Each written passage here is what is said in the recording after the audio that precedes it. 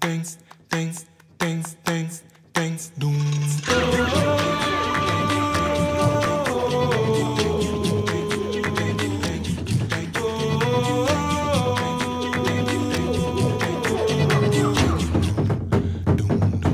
En octubre, Fox Crime se transforma en Fox Live.